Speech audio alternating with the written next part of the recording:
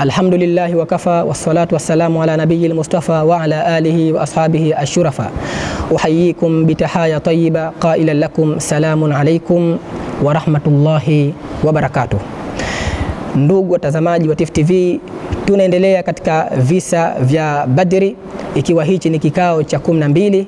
Tumeona katika kikao cha kumi na moja namna gani Sawad alivyokuwa mjanja katika kupata baraka za Mtume Muhammad sallallahu alaihi wasallam. Kisa hichi kinatufunza kitu gani? Kinatufunza hirsu sahaba ala mahabbati rasulillahi sallallahu alaihi wasallam wa annahum yuhibbuna rasulallahi hubban jamma hubban shadida.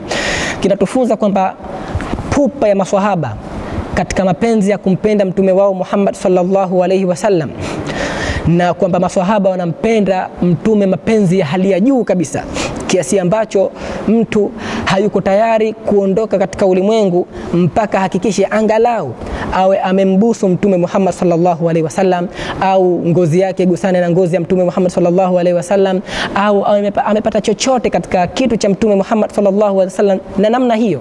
Na tukiangalia katika historia ya bwana mtume kiujumla, utakuta mambo yako kama hivyo na kuna baadhi ya wakati bwana mtume anapozungumza tu, anapotoa hutuba na mihadhara na durusi mbalimbali mbali, na anapozungumza na maswahaba zake, basi wale maswahaba wana kimbilia kukaa safu za mbele kabisa, kukaa mbele ya bwana mtume, kukaa mwanzo mwanzo, kukaa karibu na bwana mtume Muhammad sallallahu alaihi wasallam ili ile athari ya mate yanayotoka wayapate, na wanasema kwamba yalikuwa zikidondoka zile chembe chembe za mate ya bwana mtume Muhammad sallallahu alaihi wasallam, maswahaba alikuwa akijipangusia, na uh, ulama wanasema katika kumsifu bwana mtume Muhammad sallallahu alaihi wasallam, wanasema yale mate yake tu basi ilikuwa inanukia harufu ya miski.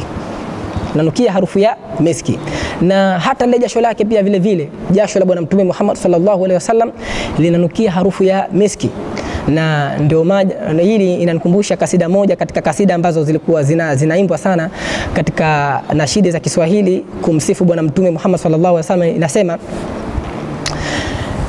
lanuka lake harufu jasho la bwana mtume, lanuka lake harufu jasho la bwana mtume.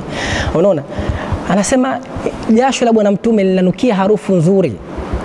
Kwa hiyo mambo kama haya walikuwa maswahaba yahrisuna, wanafanya pupa katika kukaa mstari wa mbele ili kukaa karibu na mtume Muhammad sallallahu alaihi wasallam. Eh, sahaba Anas bin Malik ambaye alikuwa ni khadimun li rasulillahi sallallahu alaihi wasallam, ni mtumishi wa bwana mtume Muhammad sallallahu alaihi wasallam. Bwana mtume anachotaka yeye ndo anamtangulizia. Bwana mtume akitaka mswaki anachukua anampelekea. Bwana mtume akitaka kiatu chake anachukua anampelekea. Akitaka kukamatiwa kiatu chake anakikamata. Mambo madogo madogo kama haya, Anas bin Malik ndo alikuwa akishughulika, alikuwa akikaa sana karibu na bwana mtume.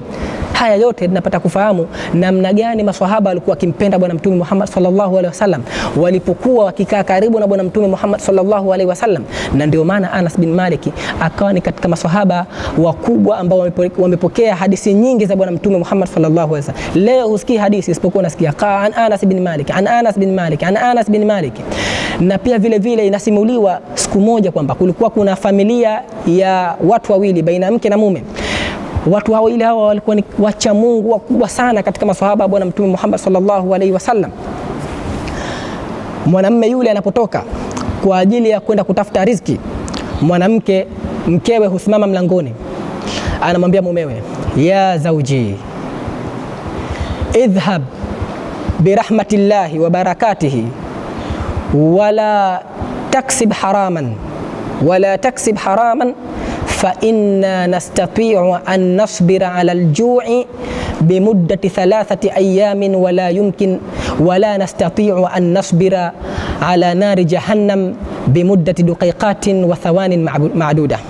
Au fima maanaa yule mke anakuwa anakaa mlangoni kumuhusia mume wake. Anamwambia ya zauji e, mume wangu nenda katafute riziki lakini usije ukachuma cha haramu. Usije ukachuma cha haramu kwani sisi tuko tayari kuvumilia njaa kwa muda wa siku tatu bila kula chochote, lakini hatuko tayari kuvumilia juu ya moto wa Jahannam kwa vidakika vichache tu, hatuko tayari. Kwa hiyo nenda kachume cha halali. Halafu baadaye pia vile vile anamwambia ya, ya zauji, e mume wangu la tashtaki ala Allahi bi rasulillah, au usije ukamshtakia Allah kwa mtume wake chochote, wala usije ukamwomba mtume chochote, usije ukamwambia ya Rasulullah, nina njaa, ninahitaji chakula, nigaie chochote. Usije ukamwomba mtume Muhammad sallallahu alaihi wasallam. Umekosa, rudi. Na mwanamme yule anaporudi nyumbani kwake, mwanamke yule humuuliza mumewe, ya zauji kam ayatan kam min aya nazalat alyawm, aya ngapi ambazo zimeshuka leo tusomee hapa ili tuzihifadhi tuzifanyie kazi. Wa kam min hadithi rasulillahi hafidhtahu, na ni ngapi katika hadithi za bwana mtume ambazo umezihifadhi leo ili na sisi utupe tuzihifadhi tuzifanyie kazi. Unaona maisha gani ambayo hawa watu walikuwa wakiishi katika kukua karibu na bwana mtume na kumpenda mtume na kuyatekeleza yale ambayo ameamrisha bwana mtume Muhammad sallallahu alaihi wasallam. Ninachotaka kukizungumza kwamba huyu mwanamke si alimwambia mumewe kwamba usije ukamwomba chochote, lakini sasa siku hiyo mume yule ambaye kaambiwa usimuombe mtume anarudi anagundulikana na mkewe amebeba kanzu kanzu ya mtume Muhammad sallallahu alaihi wasallam. Mke yule akamlaumu mumewe, akamwambia si nilikwambia mimi usimuombe mtume?